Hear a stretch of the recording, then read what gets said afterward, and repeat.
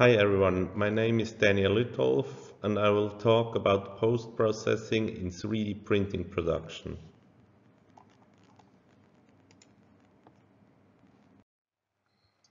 As a 3D art producer, I get in contact with a huge variety of 3D prints. For example, we have on the left side a human-size SLA print from Alex Hanimann. In the middle, a huge sneaker on a concrete wall by Isabelle Krieg.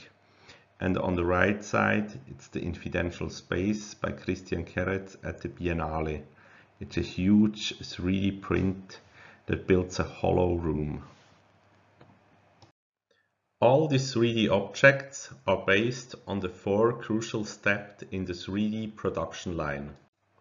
In the first step, we create the 3D model by downloading the model, reverse engineering the model through a 3D scan, or building the model with the 3D software. In the next step, we bring the 3D model to a slicing software and we translate the STL, OBJ or PLY file to a toolpath as called the G-code. The third step in the production line is the actual 3D printing we can choose between a various variety of 3D printers as FDM, SLA, SLS or MJF. As the print is finished, we go over to the fourth step. It's like the 3D print post-processing, where we work with our printed object.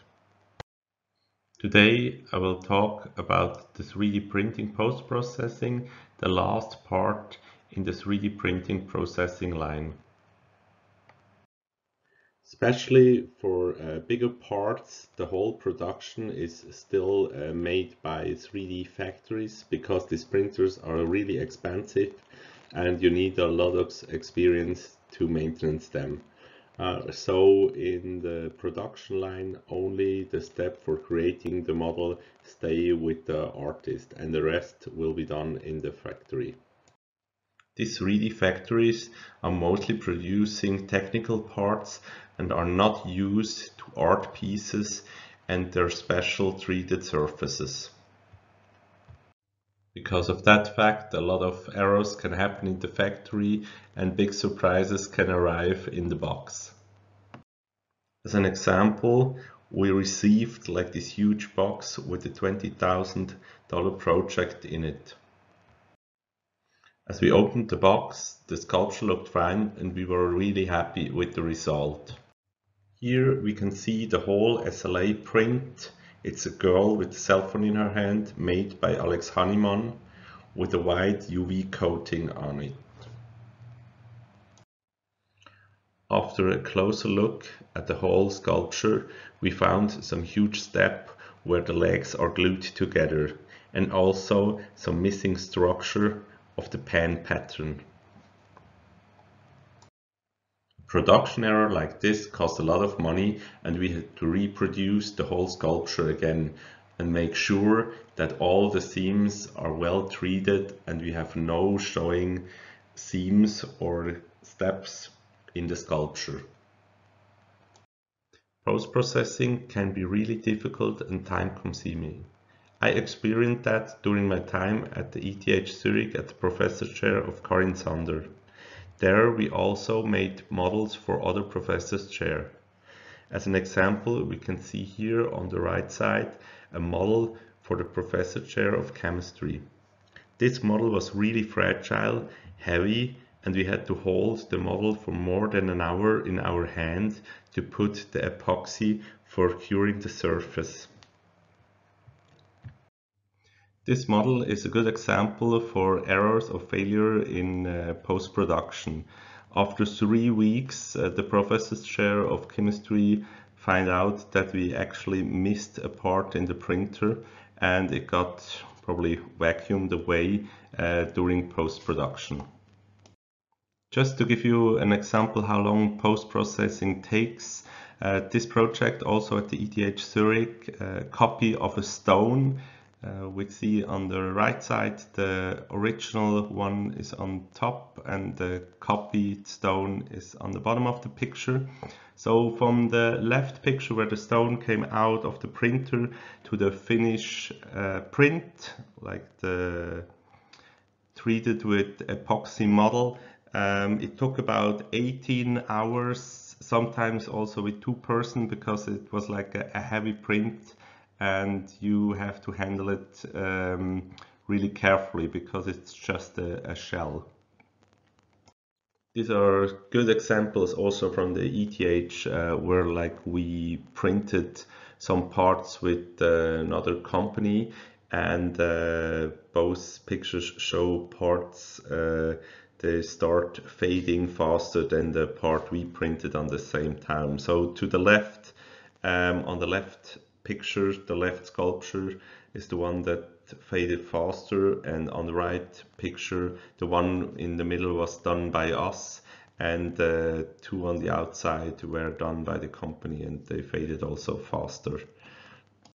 Because the post-processing process is a crucial step in the whole production line of 3D prints, a lot of artists decide to do the post-processing by their own so they don't lose control over their project. So let's have a look at the 3D print post-processing, the fourth step of the 3D printing production line. In post-processing we have three different groups of post-processing. We have the subtractive post-processing, the additive post-processing and the thermal and chemical treatment. Here we have a summary of all the post-processing we can do to a 3D print. In the subtractive area we have sand and polishing, tumbling uh, away as sanding, sandblasting, CNC machining and chemical dipping. At the additive side we can fill, prime, brush coat, spray coat, foiling, dip coat and powder coat the part. At the last one, it's thermal and chemical treatment. We can do local melting, annealing and vapor smoothing. Because there are so many 3D print materials on the market, we just go through a few of them.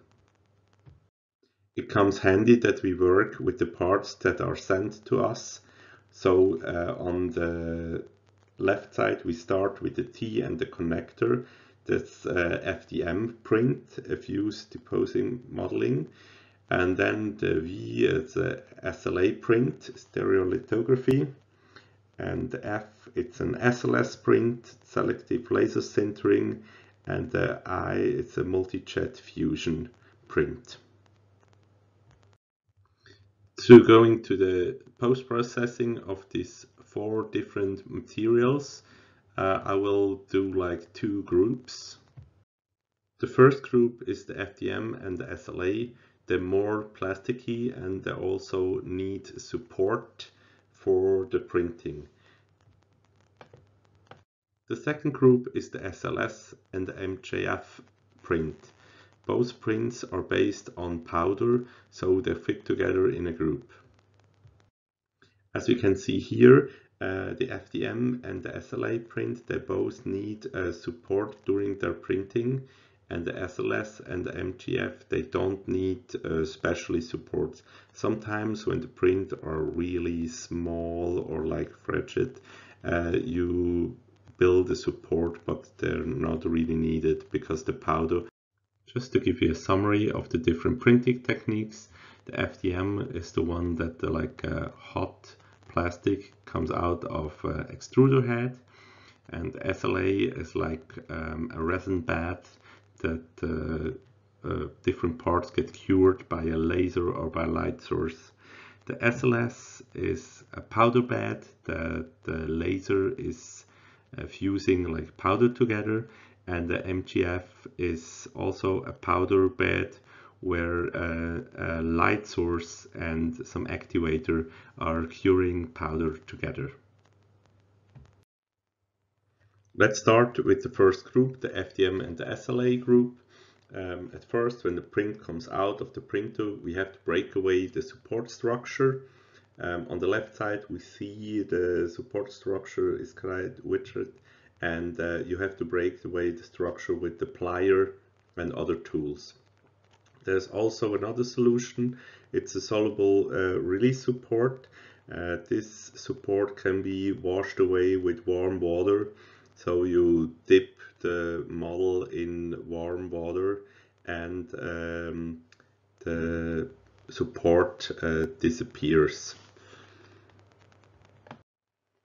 To get rid of all the leftovers from the support, you start sanding the surface of the 3D print.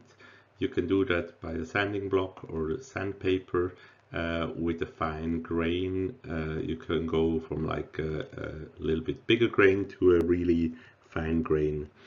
Um, also, what you do in post-processing is uh, gluing the, the parts together or cold welding them with the acetone and um, there you can decide if you do like part by part in the sanding and then glue them together or you glue everything together first if it works for your model and the model is not too complex and uh, then you sand the model um, down.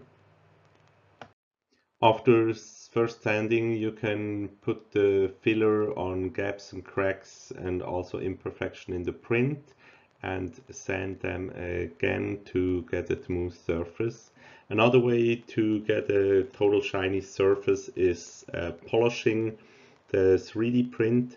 Uh, first you start with the sandpaper again and then you can go over to a polishing machine and to um, polish the part with the um, polishing paste and the machine.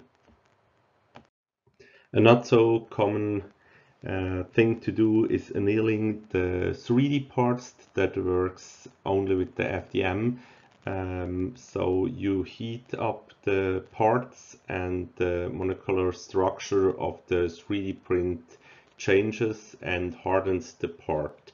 Uh, what happened with the annealing is the part changed his original form so you have to be sure that uh, you don't need the part in the original shape. And other thing that's happened a lot by uh, huge parts for car or um, industrial parts is foiling uh, the parts with different color um, uh, films so you have a really nice smooth surface on the end. If you're done with sanding and uh, putting filler on your part, you're able to put primer on, on your 3D piece and start painting. That works with all kinds of color. A really good site to check out is justpaint.org. Uh, there they did a lot of tests with different materials. You can see them on the right side with PLA, PETG, um, PA12, ABS, uh, all kind of stuff. So um, to get a good overview about uh, paint and 3D um, material, you can check out justpaint.org. An other way to paint your part is dipping. The really downside is that you um, get rid of a lot of details because the, the paint feels the, the little details. Now we come over to the second group, the SLS, the MGF uh, group. It's like the powdery group as I call it. Uh, first step is like get rid of all the powder um, on your part. So you use a little brush or air to get the, the powder away. After that you put the part in a tumbler with like special beans in it and or you sandblast the part. Here another example from a SLS print. Uh, we had like here the, the, problem that the 3D factory uh, was printing this little figurine like this Barbie and on the back of the Barbie was like this this imprint and when we received the puppet there was like no imprint shown anymore. It was just like a little bit there. And so uh, it was not usable. So we decided to do in the 3D file a box where we put the print into the box. So uh, actually we just ordered like a, a box with uh, the 3D print in it so that way we could protect like the print from the factory and uh, on the end we got the box to the studio and we opened the box in our studio so we are sure that the imprint was still intact when we received it. Another way to treat your SLS or MGF models is by dyeing. Uh, you can see on the left side you can mix colors and you have a huge variety of colors for this process. The common way to treat your model is by spray paint or lacquering. So first you do like a prime coat on your model and then you can uh, treat it with all kind of colors. Um, a special way to treat your model is by metal coating or electroplating. That works for SLS and also for um, FDM and uh, SLA prints. The MGF is not the best to do uh, metal coating and electroplating. So at the end uh, of my talk, I want to do a quick summary of these four printing methods that we separate in two groups. On the left side, we have the FDM and the SLA print. So there we first remove all support structure and clean the surface. Then we start grinding with fine sandpaper. Uh, we can also polish the surface we do uh, glue the parts together and then start uh, painting or coating the parts. On the right side we have the SLS and the MGF. Uh, first we remove all loose powder, um, start smoothing and cleaning the parts and we sand them and then we glue also the parts together and uh, start with uh, coating um, the different parts. Uh, at the end, I want to talk about a really important thing that's a lot got forgotten. It's the packaging. The packaging is for me really important because I experience a lot of damaged 3D prints uh, during my time working with this um, topic. So uh, make sure that your uh, packaging is all well, well constructed or well done. Uh, so you don't receive or like on the other side of the shipping line, uh, they don't receive broken 3D prints.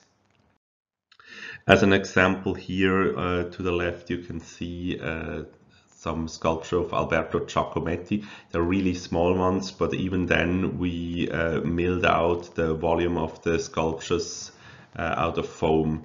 In this way, I want to thank you for listening and happy 3D printing. If you have any question, reach out to me and enjoy the rest of the Tech Focus conference. Thank you.